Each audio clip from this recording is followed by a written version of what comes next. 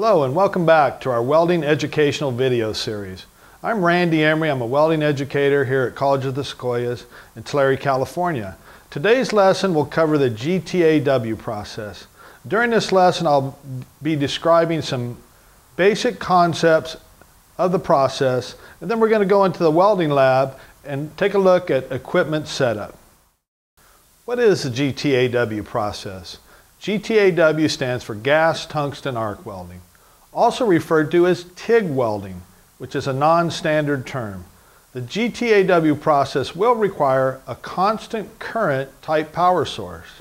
Also, the GTAW process uses a non-consumable tungsten electrode and will also require an external shielding gas. When using the GTAW process, filler metal may or may not be used. This is referred to as autogenous welding. Okay, now, now a few uh, important items about polarity and the GTAW process. When welding aluminum or magnesium, AC polarity will be needed. DCEN, or direct current electrode negative, is a polarity used for most materials. DCEP, or direct current electrode positive, is rarely, if ever, used in the GTAW process. Now a little bit about GTAW process advantages. Because of the fine arc control of the GTAW process, it works very well on thin materials. Another big advantage of the GTAW process is that it works very well on a wide range of base metal alloys. The GTAW process can also produce very high quality welds.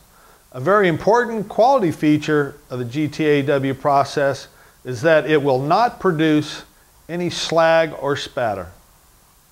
Now a little bit about GTAW process limitations. Portability is a problem because gas cylinders and hoses are needed for the GTAW process. Outdoor use of the GTAW process can also be a problem due to windy conditions. This could disturb the external shielding gas leading to porosity and quality problems. When using the GTAW process, the base metal must also be thoroughly cleaned prior to welding. Because the filler metal is manually fed, the process has a very low deposition rate. And also the GTAW process is widely used manually and it requires a very high operator skill level.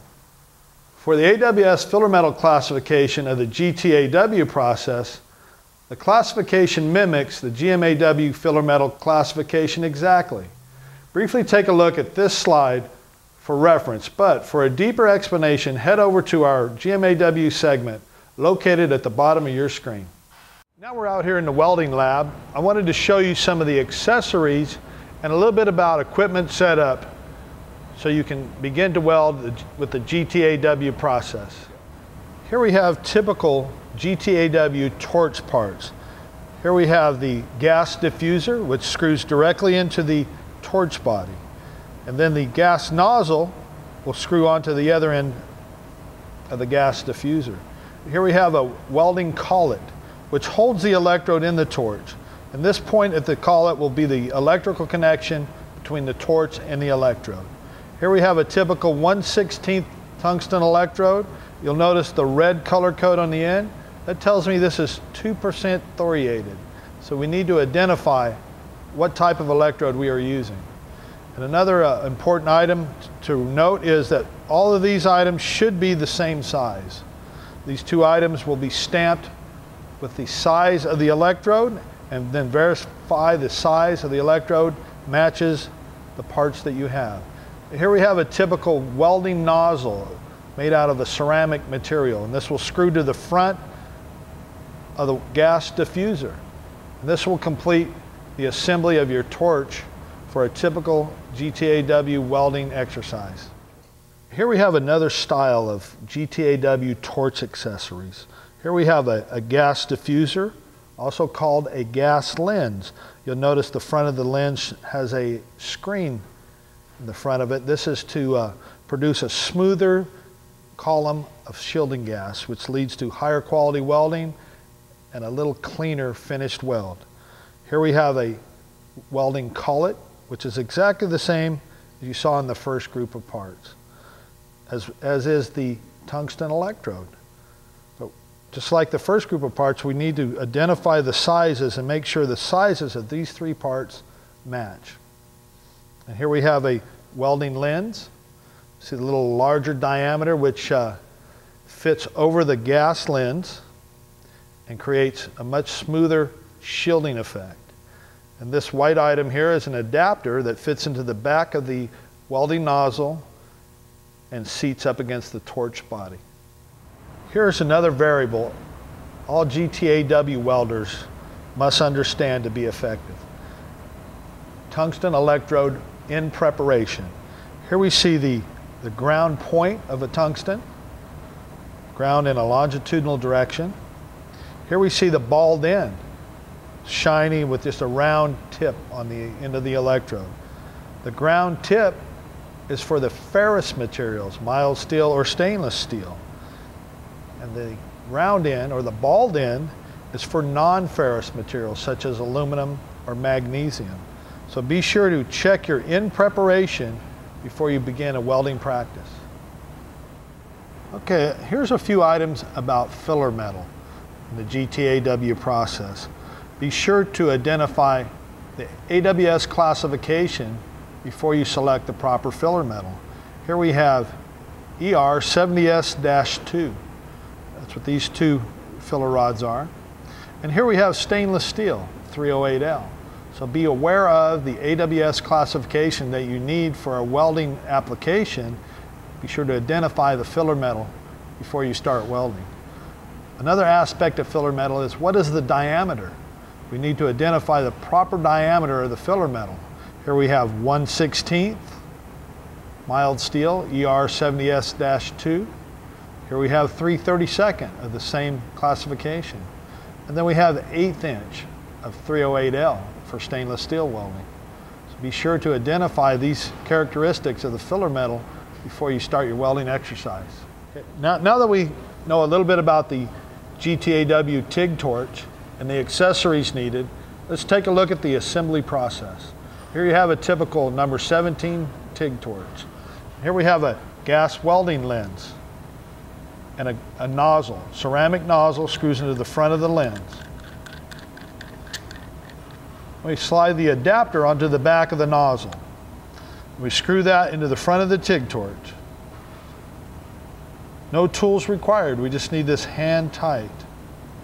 Okay, we get it snug. And then here we have the collet with the electrode loaded into it. We push that into the back of the torch body. And then we take our end cap and screw it into the back of the torch body. We set our electrode stick out and then tighten the back cap so it grips the tungsten and holds it firm. And there's your typical TIG torch assembly. Now look at the front of the GTAW power source, some of the things a welder might need to know about. Uh, of course, we have a work clamp, which we clamp to your work. We have a power switch, let's turn the power on. And here we have a mode switch. We want to be sure we're in TIG mode. Push the mode switch, it takes us into TIG mode. And what that does, it, it turns the control of the amperage over to a foot control. Any TIG welder that uses a foot control should realize that it's a lot like a gas pedal. If you need more amperage, you simply press the foot control more. Okay? And of course, in the middle of the power source, you'll see the polarity selection switch. From our earlier lesson, we realized that DC EN, or electrode negative, is probably the most popular polarity. Okay. Along with that, we have a pulse control. And in a later lesson, we're going to talk about some pulse applications for TIG welding.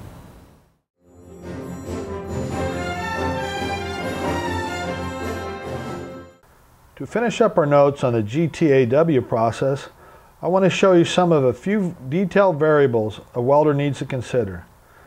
The first item mentioned is the direction of travel. The direction of travel may vary depending on a variety of factors. Those factors may include welder's comfort, joint accessibility, or welding procedure requirements to mention the most common. The next item, the gas nozzle, is a ceramic cup that will direct the shielding gas to the welding zone. There are many different types and styles of gas nozzles. The selection of gas nozzles may depend on such factors as joint design, shielding gas requirements, and the welder's skill level, to name a few. The next item is the filler metal. Since the GTAW process is a manual process, the welder must be trained in the various techniques used to apply filler metal to the molten weld pool. Next we have the arc. This is a common variable we find in the previous processes. The arc is a very critical part of the GTAW process. Because the GTAW process will not generate any smoke, the arc is very visible. For that reason, it is one of the great benefits of the GTAW process and it will lead to superior arc control. This will make the critical welding easier for skilled welders. The next item is the shielding gas envelope. The shielding gas is a critical requirement of the GTAW process. Improper shielding may lead to poor weld quality because of porosity or pitting. The shielding gas envelope might need protection if disruptive wind currents are present. The next item, solid weld metal, is another common arc welding item. As in the other processes discussed in this lesson, the size of the solid weld metal deposit must be controlled. A lack of size control may lead to overwelding or underwelding, causing weldments to become unacceptable for a given service condition. Our next item is the non-consumable electrode. Unlike the other processes, the GTAW process uses a non-consumable electrode. This means the filler metal will be manually fed into the molten weld pool. The issues a welder needs to be aware of are what type of tungsten is best, what size of electrode should be used, what type of end prep is needed, and what amperage is correct for a given electrode type and diameter. These are some of the critical questions a welder needs to answer to be a productive GTAW welder. The final item on the process is the gas inlet. This is just indicating the tube carrying the shielding gas from the compressed gas cylinder to the welding torch. These are all the variables a welder needs to be comfortable with when performing the GTAW process. That concludes our segment on the GTAW welding process. It also wraps up our set of videos entitled Welding Processes and Applications. Be sure to stay tuned for our next set of videos, and thanks for watching.